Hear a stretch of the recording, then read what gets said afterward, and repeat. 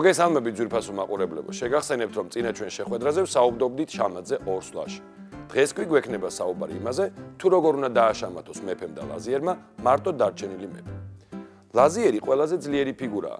ის გადაადგილდება ვერტიკალური, ჰორიზონტალური და დიაგონალური ხაზებით.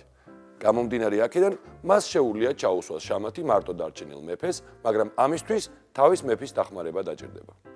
ერთ-ერთ ჩვენ წინა გაკვეთილზე ჩვენ ვისწავლეთ ხაზოვანი შამათი ორი ეტლის მეშვეობით.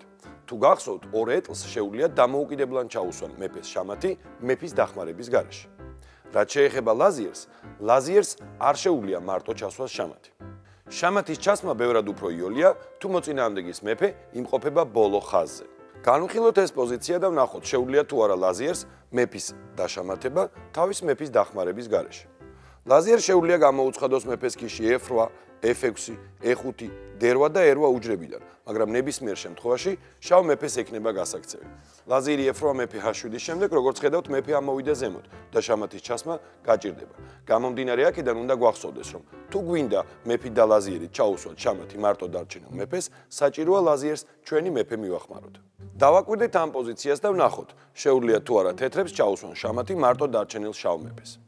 ამ პოზიციაში როგორც ხედავთ, მეფე დაფის კუთხეშია, ხოლო თეთრების მეფე საკმაოდ ახლოს არის მასთან. ლაზიერს და მეფეს ერთობლივი მოქმედებით შეუძლია ჩაუსვან შამათი მარტო დარჩენილ მეფეს. ამის გაკეთება ლაზიერი B7 სვლის მეშვეობით შეიძლება. მეფეს წართმეული აქვს ბერვა და A7 უჯრები, ხოლო ლაზიერი საყვანა არ შეუძლია, რადგანაც მას მეფე იცავს. დაფაზე შამათია. მოდით განვიხილოთ ეს მაგალითი. წინა პოზიციასთან შედარებით მეფე არ იმყოფება დაფის კუთხეში, მაგრამ სამაგიეროდ ის იმყოფება დაფის კიდურა ხაზზე, ამ შემთხვევაში A ვერტიკალზე. როდესაც მეფე იმყოფება ბოლო ხაზზე, მეფეს და ლაზიერს შეუძლია ჩამათის ჩასმა. ამ პოზიციაში შავებს შეუძლია ჩამათი გამოაცხადონ ორი გზით. პირველი, ლაზიერი B3 როგორც ხედავთ, ლაზიერი ემუქრება მეფეს, ხოლო მეფეს არ აქვს წასასვლელი უჯრები. გარდა ამისა, მეფეს არ შეუძლია ლაზიერი საყვანა, რადგანაც ის მეფით არის დაცული. და მეორე შემთხვევა, ლაზიერი A1. ამ შემთხვევაშიც დაფაზე შამათია, რადგანაც B4 უჯრას B3 უჯრავს თეთრ მეფეს შავი მეფე ართმევს, ხოლო B2 A2 A4 უჯრებს შავი ლაზიერი. ამ შემთხვევაშიც დაფაზე შამათია. ყველაზე დიდი საშიშროება, რომელიც უპირატესობის გამოყენების დროს შეიძლება შეგვხვდეს, ეს არის პატი. დავაკვირდეთ ამ პოზიციას. ამ პოზიციაში თეთრებმა ბოლოსვლა ითამაშეს მეფე F5. მაგრამ ამ სვლის შემდეგ შავმეფეს წართმეული აქვს ჟერვა, ჟ7, ჰ7 უჯრები და თანაც მას არაფერი არ ემუქრება. დაფაზე პატია. თეთრებმა დაკარგეს თავიანთი დიდი უპირატესობა. ამ პოზიციაში თეთრებმა დაუშვეს დიდი პოზიციური შეცდომა და ითამაშეს სვლა მეფე E6, რომლის შემდეგაც წაართვეს მეფეს დარჩენილი F7 უჯრა. დავაკვირდეთ პოზიციას, ჩვენ ხედავთ, რომ შავ მეფეს არც ერთი უჯრა არ აქვს გადასაადგილებლად და ამავდროულად მას არაფერი არ ემუქრება. დაფაზე პატის მდგომარეობა. გახსოვდეთ, პატი არის დაცვის ერთადერთი შანსი იმ პოზიციებში, როდესაც მეფე და ლაზიერი მეფეს ეთამაშება. იმისათვის, რომ არ დაუშვათ პატის პოზიცია, ყურადღებით უნდა დავაკვირდეთ მდგომარეობას და ვნახოთ, შეგვიძლია თუ არა დაუტოვოთ მოწინააღმდეგეს ერთი შესაძლებელი სვლა. ამ პოზიციაში კიდევ ერთი შეცდომა იქნებოდა ლაზიერის G6 სვლა, რომლის შემდეგაც ისევ და ისევ დაფაზე პატი იქნებოდა. ამიტომ თეთრებს უნდა ეთამაშათ ნებისმიერი სვლა მეშვიდე ჰორიზონტალზე, მაგალითად ლაზერი ეშვიდე, რომლის შემდეგაც შავ მეფეს გაუჩნდებოდა საშუალება გადაადგილდეს ჟერვაზე. რის შემდეგაც ჩვენ მიუახლოვებდით მეფეს და ჩაუსვავდით შამას. ამ პოზიციაში იმისათვის რომ დაფაზე პატი არ დადგეს, საკმარისია გადავიყვანოთ ლაზერი C7-ზე. რის შემდეგაც შავი მეფე იძულებულია გადმოვიდეს F8 უჯრაზე, ჩვენ უკვე მიუახლოვებთ მეფეს და შემდეგ სვლაზე ჩაუსვავთ შამას.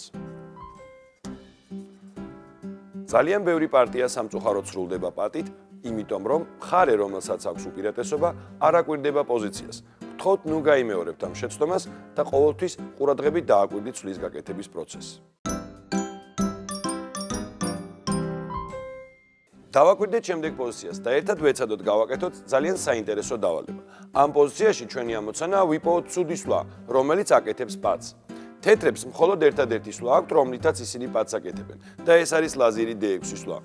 რა თქმა უნდა, ამის გაკეთება პარტიაში არ არის აუცილებელი, მაგრამ ამ შემთხვევაში ჩვენი ამოცანა არის ვიპოვოთ ეს ცუდი სვლა და ჩვენის ვიპოვეთ ლაზერი D6-ით.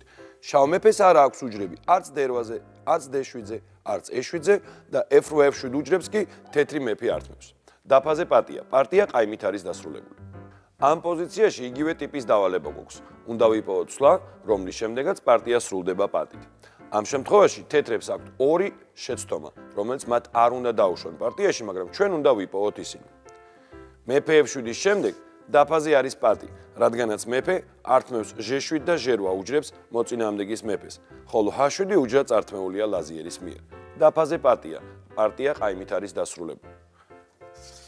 ასევე უხეში შეცდომა იქნებოდა სვლა ლაზიერის g6, რომლის შემდეგაც ლაზიერმა ყველა შესაძლებელი უჯრა წაართვა შავ მეფეს და ამავდროულად შავ მეფეს არაფერი ემუქრება. ამ შემთხვევაშიც დაფაზე პატია, ხოლო პარტია ყაიმით დასრულდება. როგორც უკვე აღვნიშნეთ, მეფეს და ლაზიერს იოლად შეუძლიათ ჩაუსვან შამათი მოწინააღმდეგის მეფეს, თუ მას აიძულებენ აღმოჩნდეს ბოლო ხაზზე. მოდით განვიხილოთ ეს პოზიცია და ვნახოთ რა მეთოდით უნდა მოხდეს მოწინააღმდეგის მეფის ბოლო ხაზზე ჩაგდება. პირველ რიგში უნდა მიუახლოვოთ მეფე.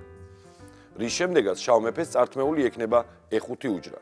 ის ვეღარ ამოვა მე-6 ჰორიზონტალიდან. ბუნებრივია შავმაც იცის, რომ ბოლო ხაზზე მას შამათი ექნება და გამომდინარე აქედან ის ეცდება მე-6 ჰორიზონტალზე შეინარჩუნოს პოზიცია.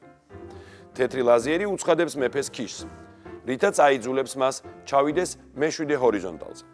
მოწინააღმდეგის მეფე გადადის F7 უჯრაზე. თეთრი მეფე კვლავ უახლოვდება მას და ართმევს მე-6 ჰორიზონტალის უჯრებს. მოწინააღმდეგის მეფე მოდის G7 უჯრაზე. ლაზიერი E7 ამ სვლის შემდეგ ჩვენ ვაიძულეთ მოწინააღმდეგე აღმოჩნდეს ბოლო ხაზზე. მოწინააღმდეგის მეფე შეუძლია წავიდეს ჟერვა ან ჰაშრვა უჯრებზე.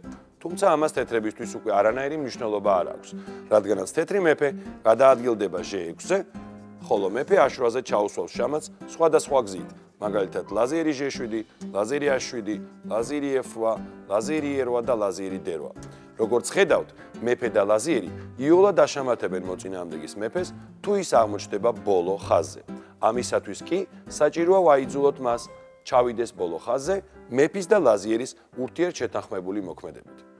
განვიხილოთ კიდე ერთი მაგალითი და ვნახოთ, როგორ შეუძლია თეთრ მეფეს და ლაზიერს ერთობლივი მოქმედებით ჩაუსვან შამათი მოწინააღმდეგის მეფეს. პირველი სვლით ლაზიერი გადაადგილდება D7-ზე და ემუქრება მოწინააღმდეგის მეფეს, რითაც აიძულებს მას ჩავიდეს ბოლო ჰორიზონტალზე. მეფეს შეუძლია გადაადგილდეს F8 ან G8 უჯრებს.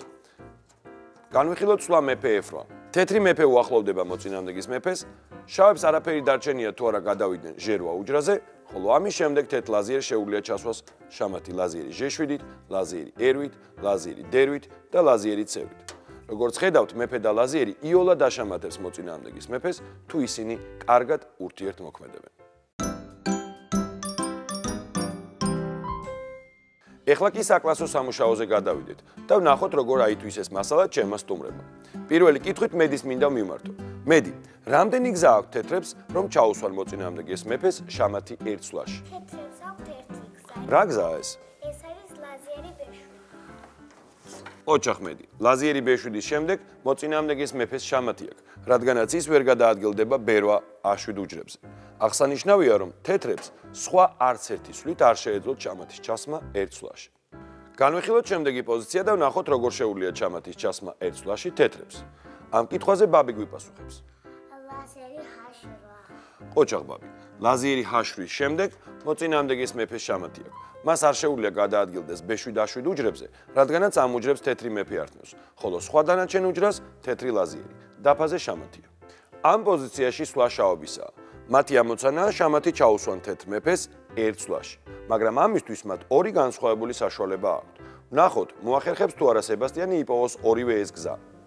ლაზერი ჰაშ. ლაზერი ჰაშვილი ამ სვლის შემდეგ დაფაზე შამათია. ეს პირველი გზაა.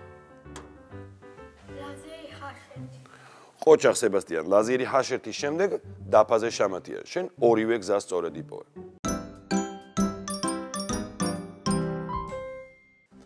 ოდნავ გავართულოთ მდგომარეობა და ვნახოთ, მოახერხებენ თუ არა ჩემი სტუმრები ჩასვან შამათი ორსვლაში. როგორ გავაკეთოთ შამათი ორსვლაში, ამ კითხვაზე გვიპასუხებს ლიზა. მეფეს შამათი გქონდეს, მეფე ცერვს უნდა გადავიდო. მოწინააღმდეგე ითამაშებს მეფე ცერვას.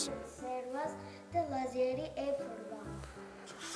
ოჩახ ლიზა, შენი პასუხი აბსოლუტურად სწორია. ამ პოზიციაში სვლა არის თეთრების, მათი მიზანია ორსვლაში ჩაუსვან შამათი მოწინააღმდეგის მეფეს, მაგრამ არ დაგავიწყდეთ პატის საშიშროების შესახებ. ნახოთ მოახერხებს თუ არა მედი იპოვოს სწორი პასუხი. ჯერ მეფე უნდა ავიდეს F2. შემდეგ შავი სეფიავა H2 უჩვენე და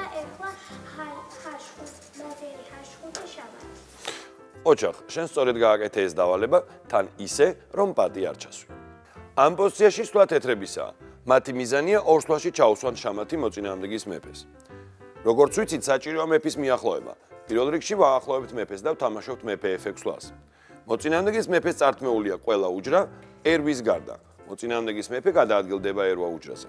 ხოლო ამის შემდეგ თეთრი ლაზიერი ცერვა უჯიდან აკეთებს შამათს. როგორც ხედავთ, F7 E7 უჯრები თეთრმა მეფემ წაართვა მოწინააღმდეგეს, ხოლო სხვა დანარჩენი უჯრები თეთრმა ლაზიერმა. დაფაზე შამათია. ამ პოზიციაში სვლა არის თეთრების. მათი მიზანია ერთ სვლაში ჩაუსვან შამათი მოწინააღმდეგის მეფეს. ლაზიერი არ ვასვლის გაკეთება არ შეგვიძლია, რადგანაც წინ A7 პაიკი გვეღობება. მაგრამ თეთრი მეფე F6-ზე ძალიან ახლოს იმყოფება მეტოქის მეფესთან და ჩვენ გვაქვს საშუალება ლაზიერი F7 სვლით ჩაუსვათ შამათი მოწინააღმდეგის მეფეს. დღეს ჩვენ ვისწავლეთ როგორ უნდა ჩაუსვათ შამათი მარტო დარჩენილ მეფეს მეფით და ლაზიერით. ამის გაკეთება არ არის რთული და მთავარია გვახსოვდეს, იმისათვის რომ ჩავსვათ შამათი, საჭიროა მოწინააღმდეგის მეფე ვაიძულოთ აღმოჩნდეს ბოლო ხაზზე.